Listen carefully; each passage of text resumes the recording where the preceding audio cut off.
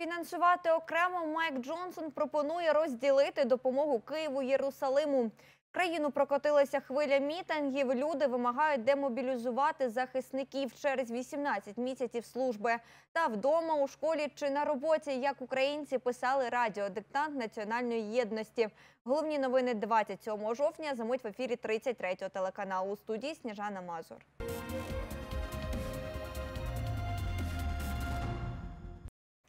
Обстріли не вщухають. Уночі росіяни атакували Україну шістьма дронами камікадзе. Сили ППО збили п'ять безпілотників. Та на цьому загарбники не зупинилися. Випустили іскандер М по Харківщині. Поціли у пожежну частину в Ізюмі. Постраждали вісім рятувальників. Четверо перебувають у лікарні.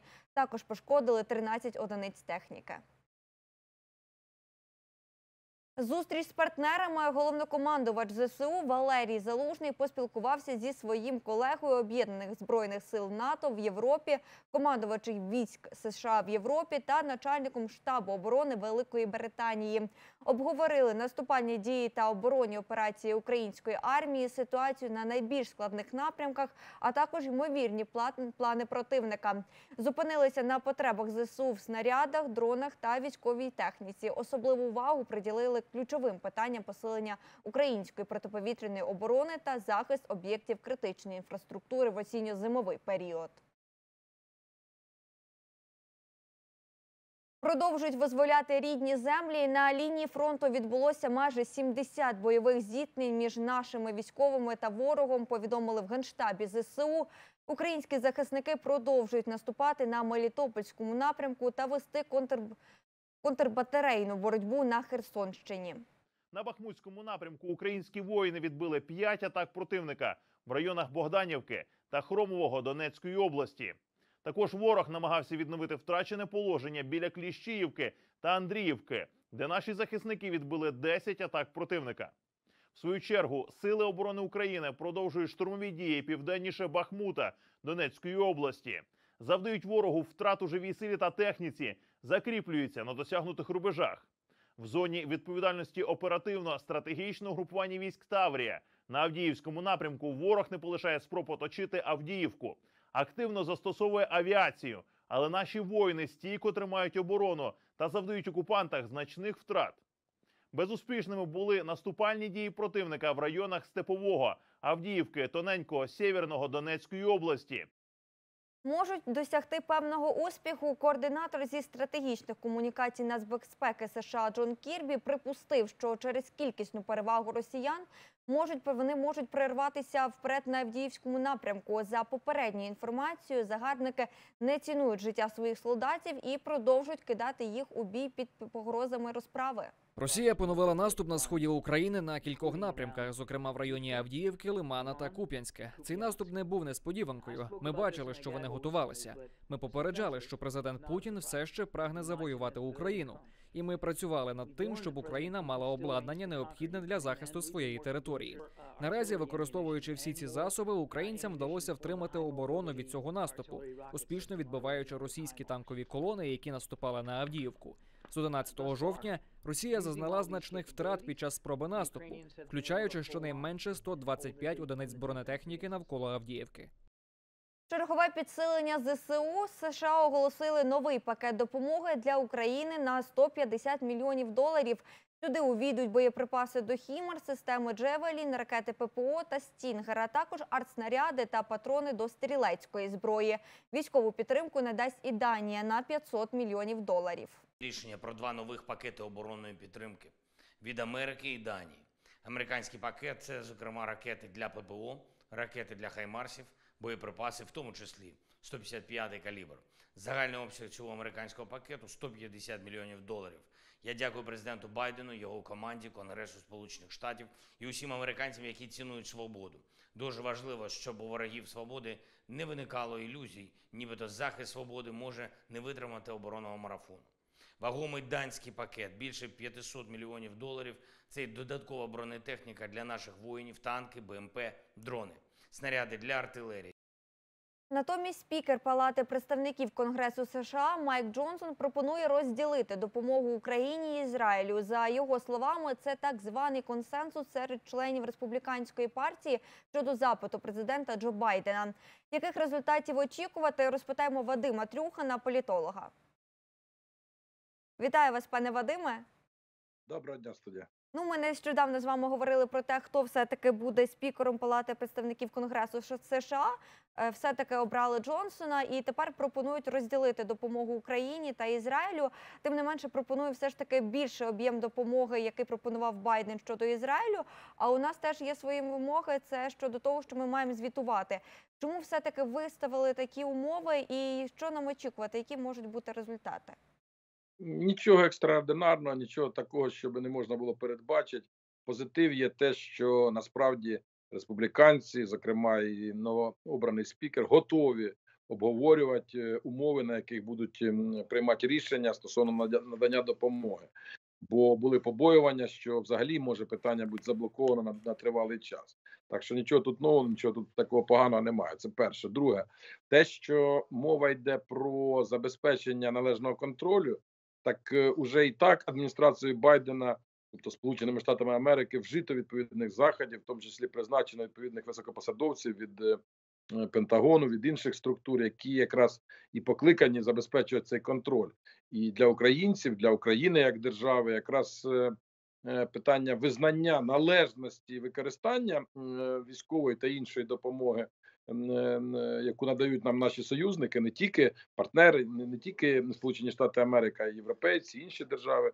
Це теж пріоритет. Адже ми не хотіли би, щоб нас потім звинувачували в розкраданні там чи в нецільовому використанні і так далі. Так що я думаю, що зараз буде доволі швидкоплинний, до речі, але дуже такий жорсткий переговорний процес між адміністрацією Байдена і Конгресом, е, в результаті чого будуть вже ухвалені відповідні рішення, скоріш за все, консенсусом. Чи то це буде все таки два різних закони, чи це все таки залишиться в одному законопроекті. Для України це не має значення, яка форма, важливо зміст.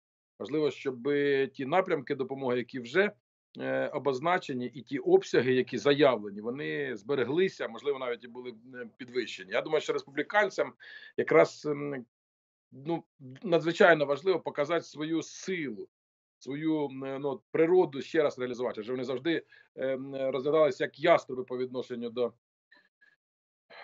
до е, вони завжди розглядалися як яструби по відношенню до радянського союзу, до Росії. Так що тут е, можна з обережним оптимізмом чекати, е, як то кажуть, наступних кроків. Якщо говорити про ще одну допомогу, то це безпосередньо про е, виділення коштів, які не ухвалили у Брюсселі через Угорщину та Словаччину. Е, наразі Орбан е, аргументує свою позицію так, що нібито підтримка Україні просто не працює, а він і Угорщина нібито відкриті до української делегації, аби там говорити про. Зняття вето. От з вашої точки зору, для чого взагалі були ось ці заяви, що то, що може щось змінитися, якщо, до прикладу, будуть якісь перемови? Я відверто кажучи, був досить здивований цією заявою Орбана. Він фактично хоче принизити Україну, принизити президента Зеленського. Е, На мою думку, в жодному випадку йти на поводу не варто. Ніяких ем, там е, візитів до Будапешту на поклон там Орбану робити не, недоцільно. І мені здається, що європейські важковики, Франція, Німеччина, інші держави, вони самі дотиснуть е, Будапешт і знайдуть компромісне рішення, яке дозволить продовжувати надавати Україні допомогу. От ви сказали, що е, знайдуть якийсь певний консенсус, але все ж таки, от як можна вийти з цієї ситуації і щоб все таки ну не блокували нам підтримку е, у Брюсселі? Е, Це більше питання двох е, таких от площин. Перша площина Орбан відпрацьовує перед Путіним. Ем, е, Якби свій мандат на, на, на, царювання, бо вже видно, що це маріонетка Кремля, такий собі фрік. От. А друга площина намагається максимально витягнути грошей е, з Європейської комісії, фактично з м, е, своїх європейських союзників і партнерів. От. З точки зору відносин Орбан-Путін, нам тут важко щось вплинути. А з точки зору відносин е, Орбана з Брюсселем, так найкраще висловився буквально на днях пан Борель. Комісар з питань зовнішньої політики він сказав, що так Угорщину ніхто не тримає в Європейському Союзі. Це він е, коли відповідав на е, е, такий натяк, прямий, навіть пряму паралель, яку публічно використав е, Орбан, говорячи, що е, Європейський Союз це погана копія радянського союзу. Такий був плювок в обличчя Брюсселю, загалом ключовим столицям держав-членів Європейського Союзу. Так що мені здається, що Україна тут має бути дуже обережно і поміркована. Краще не коментувати цю от, е, всяку глупість, яка йде з вуст Орбана, а працювати з нашими європейськими партнерами з Брюсселем. Брюссель управу на Угорщину, я впевнений, знайде.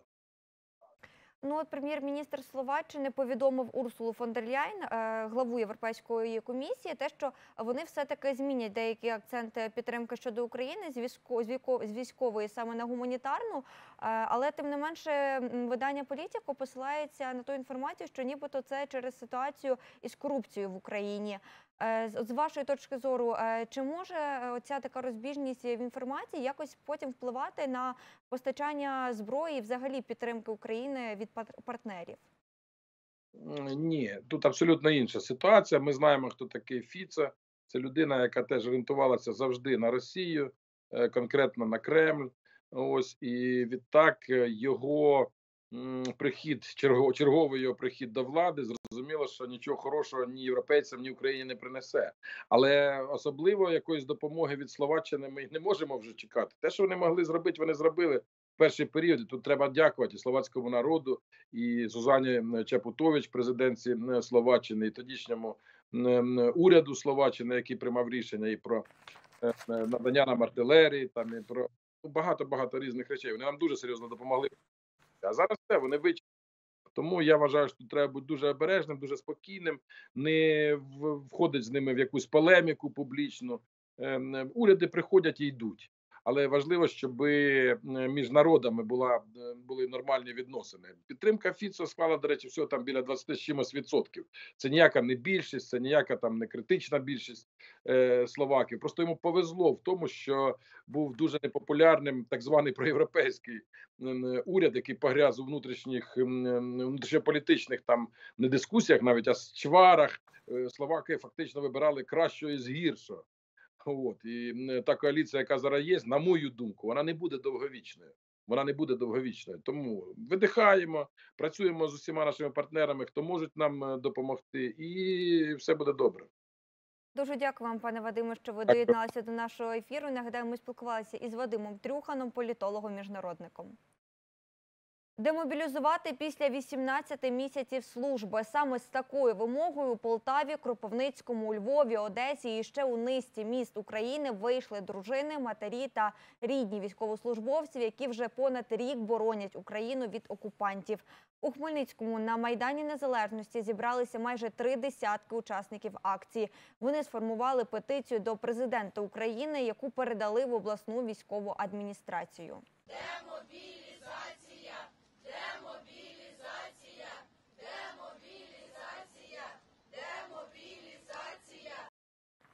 Моніторить Фейсбук та Інстаграм. Державна податкова служба почала перевіряти інтернет-магазини. Лише за вересень та жовтень зафіксували численні випадки торгівлі через інтернет без державної реєстрації та застосування РРО ПРО.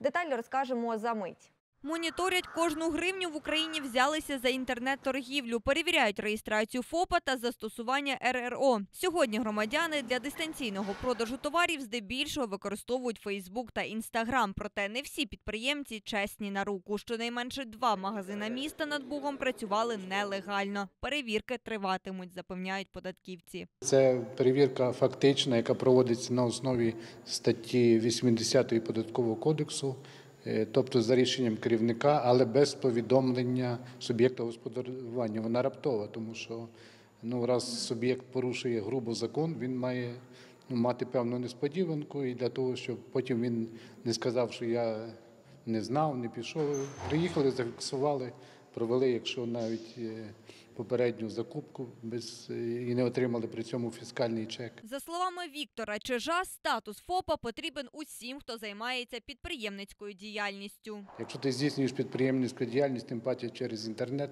ти обов'язково маєш бути фізичною особою підприємцем, тому що це вже певна відповідальність перед суспільством, перед покупцем, перед країною, в якій йде війна. Тобто Ну такого немає, щоб продавав, реалізовував. Ну, Сума там, ну принципі, сума не має значення, має кількість масова торгівля.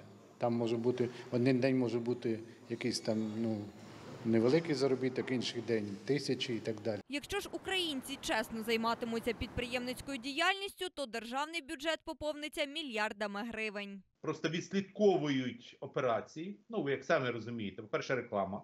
Це не складно вирахувати. Да, з допомогою Facebook, з допомогою Instagram, це все можна вирахувати. Комп'ютерні програми для цього існують.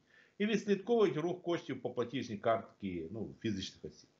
І з допомогою цього вираховують, чи дійсно має місце, ну як сказати, бізнес операції, чи це просто ну, людина якби веде свою сторінку в Facebook. Ні, це не складно. Тим паче, що на сьогоднішній момент комп'ютерні технології дуже швидко вираховують тих, хто або надає послуги, або торгує з допомогою там або Фейсбука, або Інстаграму. Наразі за нелегальну підприємницьку діяльність законодавством передбачена адміністративна та податкова відповідальність. Податкова відповідальність це 340 гривень, е, а адміністративна це від 17 тисяч гривень до 34 тисяч гривень. Також хочу зазначити, що е, окрім реєстрації при наданні послуг, продажі товарів, е, окрім того, що особа має бути зареєстрована, має бути також доступна інформація про реєстрацію, про всі дані, про місце знаходження. Тобто споживач має бути максимально повідомлений про те, хто йому надає послуги або хто здійснює продаж товарів. Сніжана Мазур, Вадим Гловацький. Новини 33 телеканал.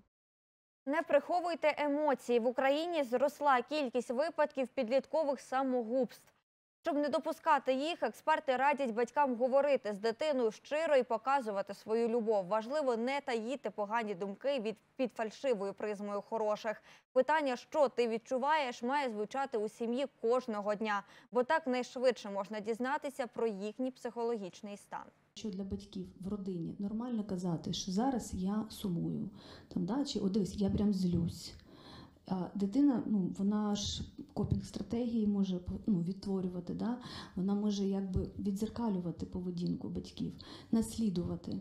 І це буде підтримувати, тому що не треба вчити дитину, треба робити так, як ви хочете, щоб вона ну, чому у вас навчилася. Якщо батьки закривають свої почуття, ховають, що случилось? Нічого, не знаю, не розумію.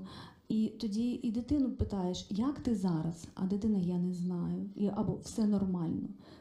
Вона відповідає, де вона навчилася відповідати все нормально. Вдома, в школі, серед друзів. Якщо вона має в досвіді інше ставлення, як ти себе відчуваєш? Я злюсь, я сумую, я розгублений, я відчуваю відразу. Тобто, чим більше оця палітра переживань в дитину інтегрована, тим їй легше відстежувати власні переживання, і тим легше обходитися з ними. І тоді родина стає правда опорою. Об'єднати усіх в одну структуру через повномасштабне вторгнення в Україні призупинили розгляд законопроєкту щодо реформування держекоконтролю. Його ініціатори вимагають запровадити єдиний орган, орган і надати йому максимум повноважень, натомість ліквідувати рибпатруль, Держпродспоживслужбу і інші установи. У нас дійсно доволі багато органів, які слідкують за виконанням законодавства, за, е, за притягненням до відповідальності.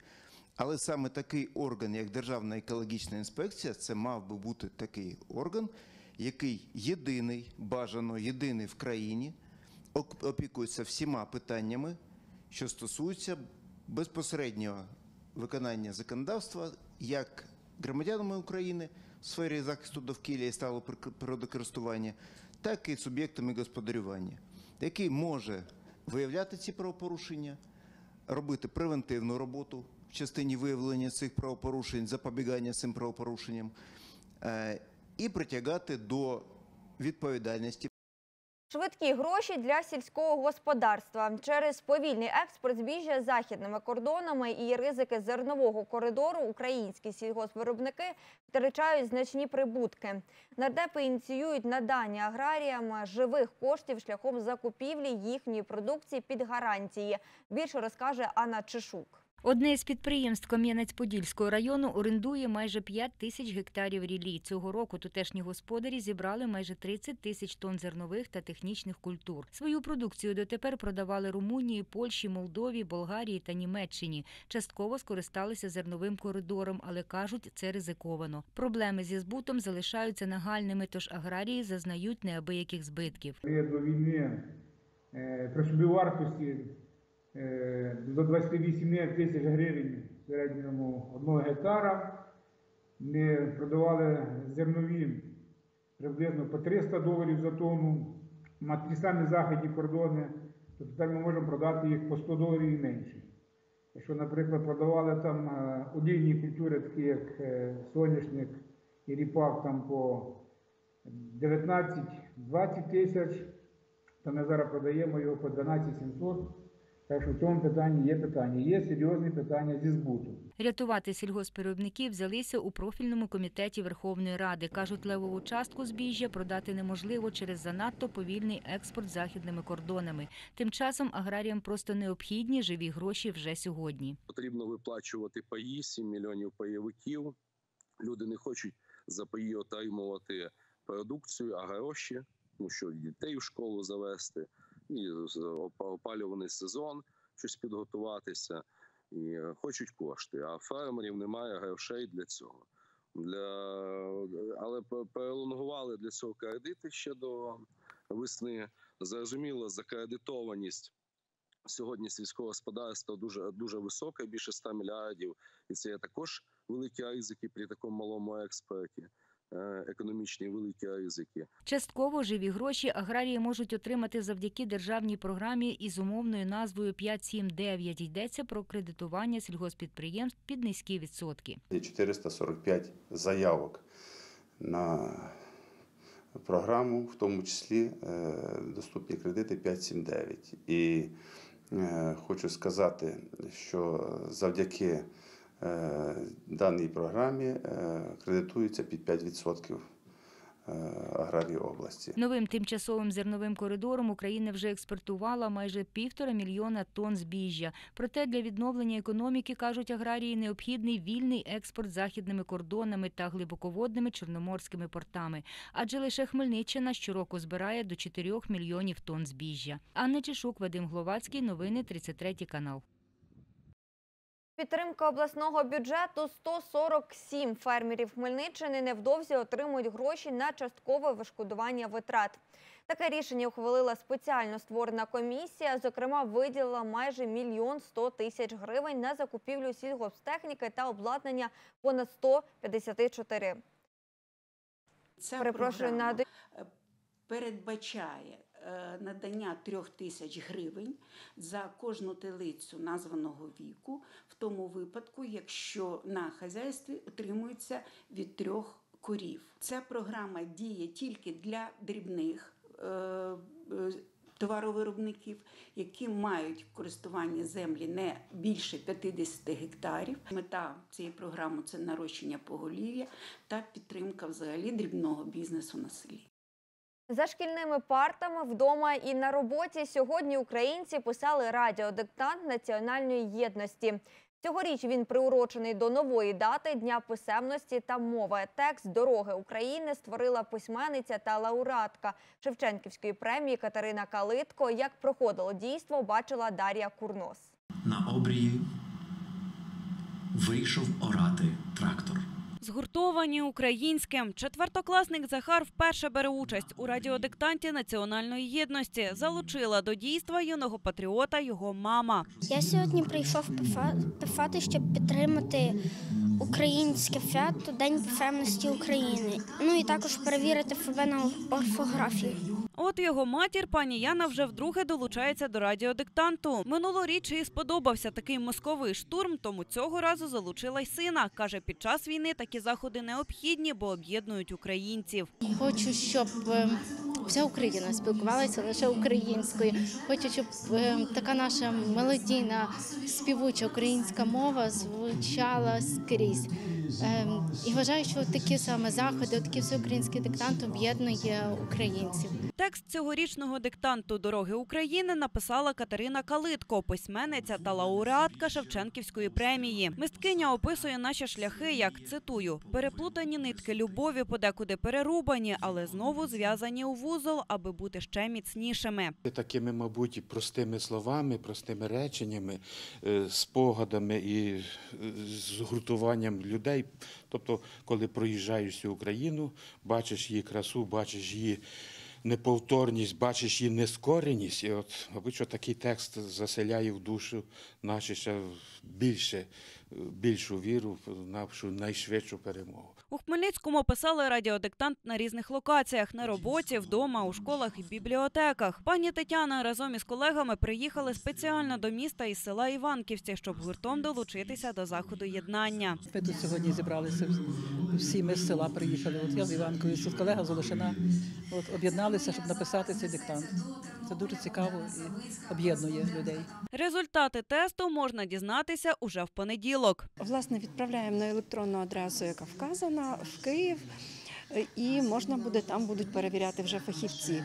А в понеділок, 30 числа, буде цей диктант оприлюднений. Хто не хоче відправляти, можна буде його вже подивитися і е, виправити все самостійно. Дарія Курнос, Олександр Мельников. Новини 33 канал. Цьогоріч озвучив всеукраїнський диктант національної єдності актор театру та кіно Олексій Гнатковський. Про те, як готувався до читання, і які були емоції, розпитаємо його особисто. Вітаю вас, пане Олексію. Всім привіт. Ну розкажіть тоді більше, які емоції вас переповнювали, що відчували, коли все-таки зачитували диктант єдності? Знаєте, насправді е, дуже тішуся, що мав таку нагоду прочитати цей диктант. Це велика честь і велика відповідальність. Але я завжди і перед цим казав, що найважливіше тут не правильність написання навіть, не ем, те, скільки ми помилок зробимо або не зробимо. Всі ми люди, ми робимо помилки. Хоча треба робити якомога менше. Але найважливіше те, що ми разом спільно робимо одну справу. Ми е, всі українці об'єднуємося навколо важливої теми. Це тема українська мова. Це те, що зараз є найбільше на часі, найсвятіше. Це те, що зараз є для нас всіх священне. Це те, заради чого ми воюємо. Ми воюємо, щоб мати свободу говорити своєю мовою. Нарешті вся Україна, щоб заговорила однією нормальною, а не проклятою мовою. Бо проклята мова знаємо, мова наших ворогів. Е, і треба якомога швидше ви- викидати її з своєї голови. А, і таких тем, до речі, е, навколо яких треба об'єднуватись, їх треба багато. Е, ці теми треба шукати. Якщо ти не можеш їх знайти, їх треба вигадувати. Але нам треба е, бути разом, бути згуртованими і один одного підтримувати, один одного розуміти і любити один одного. Тому що в нас багато зараз у суспільстві речей, які нас роз'єднують. Ми бачимо приклади корупції, бачимо приклади ідіотів, бачимо приклади якихось невиправданих весіль, таких, де гроші на вітер, бачимо розчарування е, воїнами е, е, цих людей, які в тилу, бачимо розчарування тилу, е, тиловиками тих воїнів. Насправді це все вкиди, це маніпуляції. Нас хочуть роз'єднати. Не звертаємо уваги на ідіотів, бо вони є і вони будуть, на жаль. Давайте бо дивитися один на одного там, де там, де ми класні українці, красиві, і те, що нас об'єднує. Власне, українська мова це чудовий е, спосіб об'єднати. Ну, головна ціль диктанту і була от об'єднання навколо України. І от з вашої точки зору, чи все-таки вийшло виконати це завдання? Я зробив фантастично все. Ми не сумнівалися. Просто досконале прочитання диктанту, хочу відмітити за собою. Я, до А чи готувалися як, якось ви взагалі до диктанту? Прошу? Готувалися якось до диктанту? Так, звичайно. Я їв низькокалорійну їжу, е, ходив до церкви, е, бігав, е, донатив на Збройні Сили України. Це найголовніше. Але якщо говорити от безпосередньо про сам диктант, як вважаєте, чи вдалося об'єднати все-таки українців? Е, Зараз, дивіться, в мене зараз вистава в Києві. Я сам Франківська, мене стало в Києві в 17, в 19 годині. Так от після диктанту я вже е, третю годину сижу і в мережах відписую дякую. Я старався. Тобто люди е, з усієї України і за кордону пишуть мені е, дякую за гарне прочитання. Е, і е, пишуть, що це дуже важливо для нас. Тому я по своїй бульбашці, зрештою, ми кожен в своїй бульбашці живемо. У своїй бульбашці я бачу, що дуже багато людей е, тішить, тішаться об'єднані і готові з новими силами е, ринутися в роботу, в бій, в виборювання, в допомогу Збройних сил України. Тепер мені пишуть, що, що ми можемо, чим можемо долучитися, і так далі. Тобто, ця ініціатива збурює одна хвиля, збурює інші хвилі, і я сподіваюся на величезне цунамі, яке е, захопить всі наші можливості і спрямує їх туди, куди треба. От як гадаєте, чи потрібно в Україні все-таки більше таких заходів, які могли б об'єднати людей навколо нас? Навіть не можу відповісти на складне запитання. Відповідь очевидна, так. Абсолютно. Дуже дякую вам, пане Олексію, що ви доєдналися до нашого ефіру. І нагадаю, ми спілкувалися із українським актором театру та кіно Олексієм Гнатковським. Щорічно в останню неділю жовтня за два дні українці переводитимуть стрілки годинника на зимовий час на одну годину назад. Відповідно, спатимуть трішечки довше. Лікарі кажуть, така зміна сильно вплине на біоритм людини. Як адаптувати свій організм, розкажемо за мить. Нехай залишається якийсь Звичайно, для здоров'я краще. Слабкість, я знаю. Ну, тяжко. Двічі на рік збиваємося із ритму. Вже цієї неділі традиційно стрілку годинника переведуть на годину назад. Люди до переходу на зимовий час ставляться по-різному. Обов'язково. А чому? Бо люди привикли, знають, така система. Мені не мішає, хоч так, хоч як мене встраює. Лікарі кажуть, зміна в часі негативно впливає на здоров'я людей. Є велика ймовірність виникнення серцевих хвороб. На фізичне здоров'я підвищується ризик серцево-судинних захворювань, підвищується ризик інфарктів, гіпертензії, ну, підвищення артеріального тиску, підвищується ризик розвитку аритмій, ну і інших серцевих проблем. Психологи кажуть, це негативно впливає і на ментальне здоров'я. Щоб уникнути цього, радять наступне. Це можуть бути різні медитативні техніки, е, релаксація, е, також е, позитивне мислення. Воно дуже нам гарно на нас впливає, тобто думати позитивно, візуалізувати для себе. Е, Якби якісь позитивні моменти свого життя, Е, також їжа, е, яка нам приносить задоволення. І взагалі я даю таку вправу прописати 50 речей, які приносять задоволення. Щоб легше перенести ці зміни, організм потрібно готувати заздалегідь. Потрібно от в другій половині дня виключити обмеження кави, перед сном обмежити телевізор, комп'ютер, смартфони. Ну, те, що ми часто, хоча б за годину перед сном, перед фідом до сна. Можна пити заспокійливі ну, чаї, природній такий спосіб. Старатися лягати в, в один і той самий період часу, заси- засинати, ну і пробуджуватися. Сніжана Мазур, Вадим Гловацький. Новини 33 телеканал. Із занедбаної будівлі у реабілітаційний комплекс Хмельницька міська рада виділила 9 мільйонів 200 тисяч гривень міській лікарні на придбання приміщення старого табору у Головчинцях. Там проведуть ремонтні роботи облаштують центр психічного здоров'я для військовослужбовців. За потреби відправлятимуть на лікування і цивільних. передбачили 9 мільйонів 200 тисяч гривень, е, які ми надаємо нашій Хмельницькій міській лікарні. За ці кошти Хмельницька міська лікарня планує купити е, заклад е, оздоровчого реабілітаційного типу в поблизу села Головчинці. Е, В цьому закладі ми плануємо створити центр психічного здоров'я. І це буде заклад реабілітації для військовослужбовців, для поранених військовослужбовців, для родин загиблих, для дітей загиблих і так далі. Дуже сподіваємося, що після купівлі ми зможемо вже замовляти ПКД, виділяти кошти на ремонт і будівництво, і на наступний рік отримуємо повноцінний заклад по типу закладу психічного здоров'я і реабілітації наших військовослужбовців. Від гендерного хабу до моніторингу укриттів в закладах освіти п'ять громадських організацій Хмельниччини отримали гранти від Українського жіночого фонду на реалізацію своїх проєктів.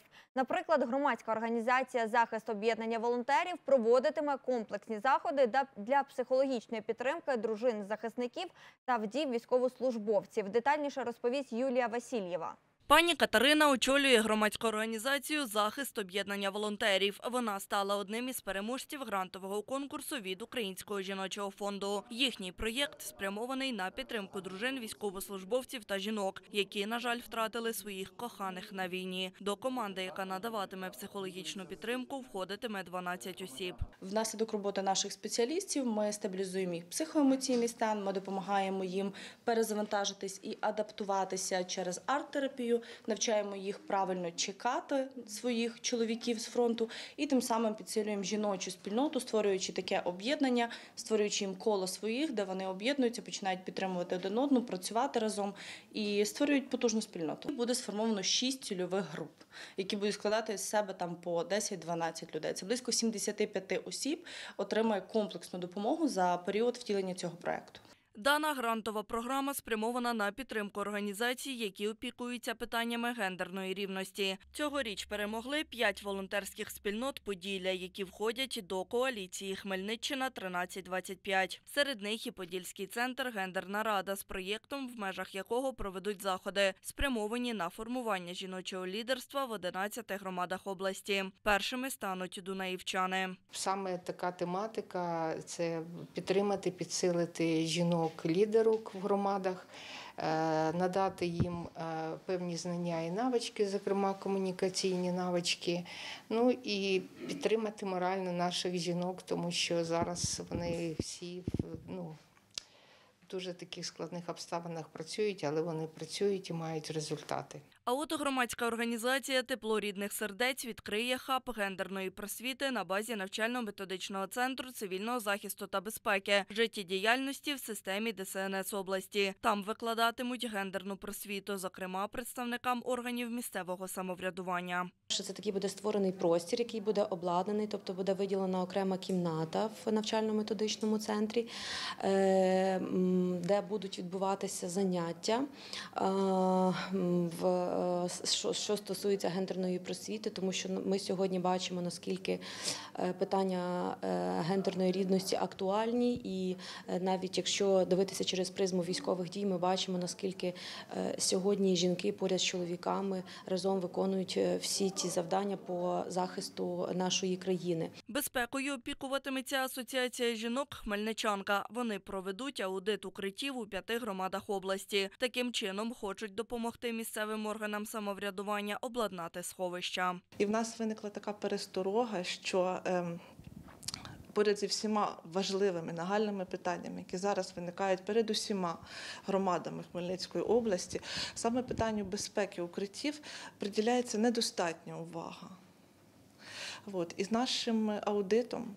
З залученням е, місцевої влади, залученням громадськості, ми би хотіли привернути увагу, е, зосередитись е, на якихось, е, можливо, недоліках і надати рекомендацію. Фінансовій грамотності навчатиме жінок сільської місцевості та ВПО команда громадської організації Жіночий хаб. Всього проведуть п'ять одноденних семінарів. Кожен із цих проєктів отримав гідне фінансування від 245 до 570 тисяч гривень. Програми мають реалізувати протягом 8-9 місяців. Юлія Васильєва, Вадим Гловацький. Новини 33 канал. На варті безпеки у селі Сахкамінь Кам'янець-Подільського району створили пожежну частину. У населеному пункті надзвичайні ситуації трапляються часто, тому й вирішили сформувати рятувальний загін.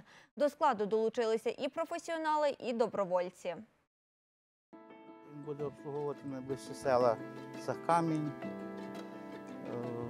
Думанів, Нігін, Карачківці і Цикова. Створення цих підрозділів має бути чим більше по селах, тому що е, рятувати людське майно від пожеж. Навіть тих 30 хвилин, що машина їде довше, це набагато буде простіше.